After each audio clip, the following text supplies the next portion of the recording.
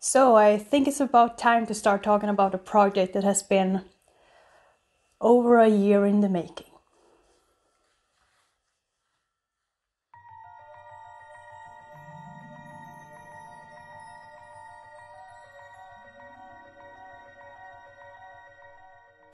Hello and welcome back. And if you're new to my channel, my name is Jennifer and I make stuff.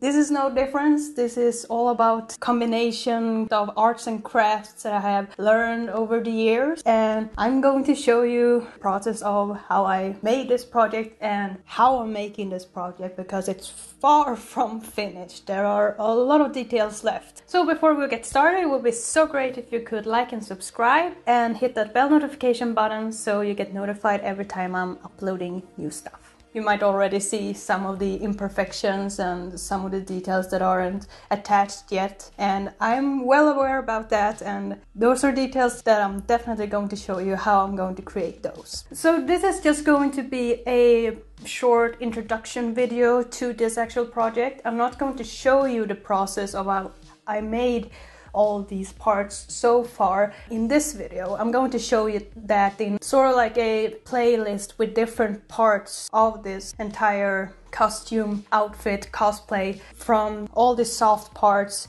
and then build up to the armor pieces and the leather work and other stuff that are to complete this outfit. This is obviously, if you can see from this um, outfit, this is the Mandalorian, obviously, and this is my take on it if you're a female and you want to dress up as the Mandalorian. So I had made a few adjustments so it would fit at least my body, but the obvious difference of this outfit compared to the original Mandalorian is obviously the chest plate because in the original it's just a flat metal chest plate, but if you're a female, the chest part needs to have more dimension to it. Like if you just would have something that is just flat, it would just stand further out from your body, especially if you're large chested or medium chested. So I had to figure out a construction of this chest plate that would make it have the similar style and shape as the original, but still have these 3D geometric shapes that would fit around a chested area on a female. So I had to do some adjustments like you can see the only part on this armor is actually this part right here. If you see it in the original, it actually just goes straight down like that. But on the armor that I made, goes out, down, and in, and then it's just a bit rounded here in the corners just to give that 3D dimensional shape, but still has that angled look, so it looks, you know, futuristic with geometric shapes. So it fits the universe that this armor is supposed to be in. That's the difference here. But the majority of the rest of all of the parts that are on this armor is just the exact same as the original armor, meaning the style and the aesthetics and the looks of the finished result because those parts aren't going to vary depending on if you're female or male. It's just going to be the exact same style on those parts.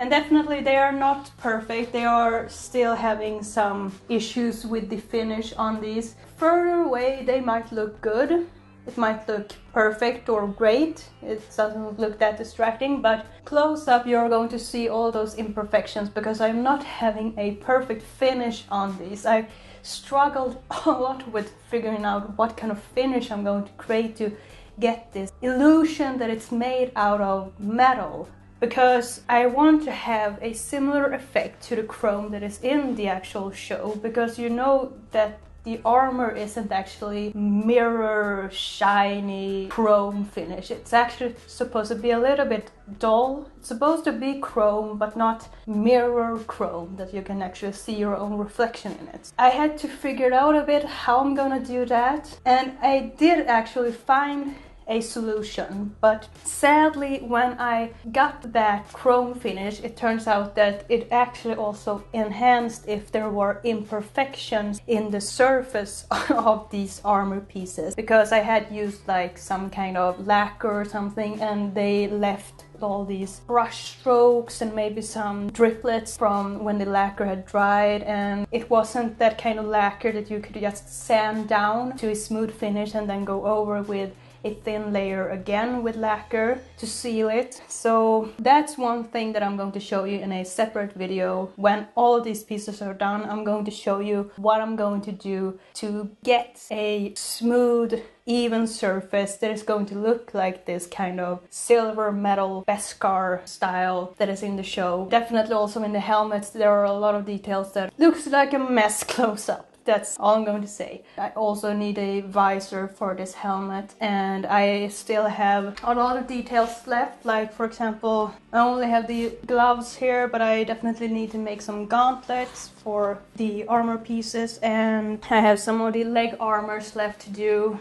And every part of these armor pieces, they need definitely a much better finish. I think it's going to be one of the final steps. When I was working on this one, I didn't have my new computer that I have now, so I wasn't able to start editing any videos or um, start uploading stuff to YouTube. And by the point where I was actually working on this armor, I didn't record the process because I wasn't thinking that I was going to actually show this process or upload it to YouTube or anything. But I did actually document a lot of pictures of the process. So each video from the point that I'm at now, each part of those videos are going to show you slideshows of pictures, but I'm going to show you close-ups of the parts that I have made so far and show you pictures of the process and explain how I worked on these details. I'm also going to plan on making some templates and patterns of all of these parts if you would be interested to actually purchase these details and I'm going to make sure that I can figure out what size these parts fits if you're medium, small, large, you know, especially if you're a female because the, the chest plate is especially for female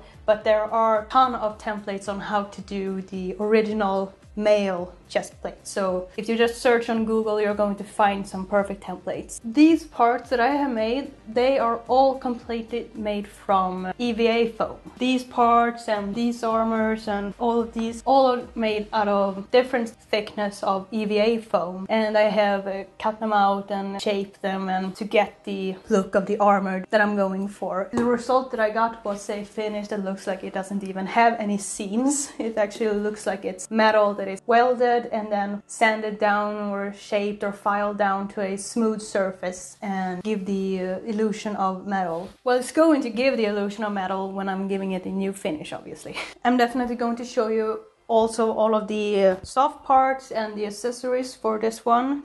And obviously these pieces aren't attached or anything to the soft parts of this armor. They are just right now clamped with some clamps here and I have a little bit of cotton here because I didn't have cotton here before and these clamps actually left some marks in the armor pieces. But thankfully with EVA foam you can even out the surface by going over with a heat gun and then it, the surface would even itself out. So, but just to avoid getting some more hideous marks on these armor pieces to take away the illusion that it's made of metal instead of EVA foam, I try to protect the surface with a little bit of cotton between each clamp. So, like I said, I'm not going to go into detail about how I made these parts in this video. This video is just showing you the results so far and just what I'm planning to do. And I'm going to show you all of these parts in the process of how I made all of these pieces because I did actually start with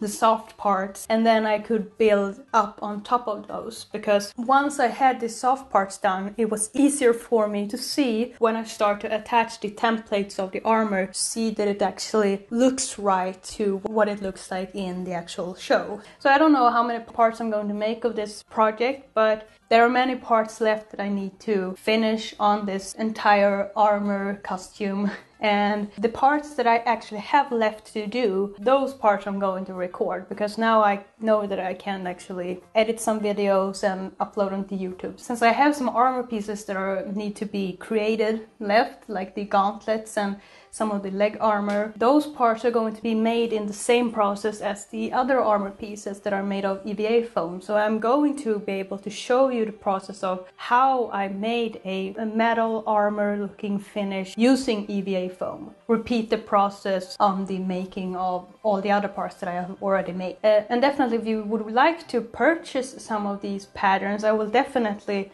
make sure that I make some PDF files of these armor pieces and make sure that you can make your own armor out of EVA foam. And I'm going to include all those details about which thickness of EVA foam I used and if I used other materials for that finish. So that's the introduction of this project that has been around a year in the making and I'm still not done so it's going to be a over a year long project all of this until it's finished but it's been a very entertaining, fun journey so far with the result I got right now. And I was so happy. The more details I added, the closer it started to look like the armor from the show. And I was so excited because I felt like I had made all of these details from scratch and had to either look at pictures from the show or had to look at information on uh, the size and measurements and all that. And other stuff I had to figure it out myself to see what would look great and then I had to go from the measurements I had myself. But other than that, it was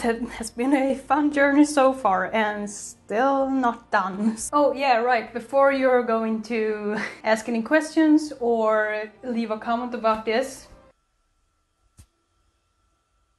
this was the uh, smallest mannequin they had. So yeah this uh, armor looks like it's going to be too large for me but this armor is made after my measurements. And if you look at the actual pants of the flight suit look like capri pants on this mannequin because they're too short on her but on me they fit perfectly. She's like 5'11 I'm 5'3 so going to look like this is uh, a armor for a very tall female, but no, I have made each part here after my measurements. Just want to clarify that if anyone had any questions about it. So I hope you're going to be excited and looking forward to see the process of how I made this outfit from start to finish and maybe get some ideas to make your own Mandalorian costume for maybe Halloween or some kind of convention or whatever you could want to dress up as Mando or Din Djarin from Mandalorian. And also how to make a female version of this outfit. So that's it for this video and I'll see you in the next one. Just going to be the first step on how to create this outfit.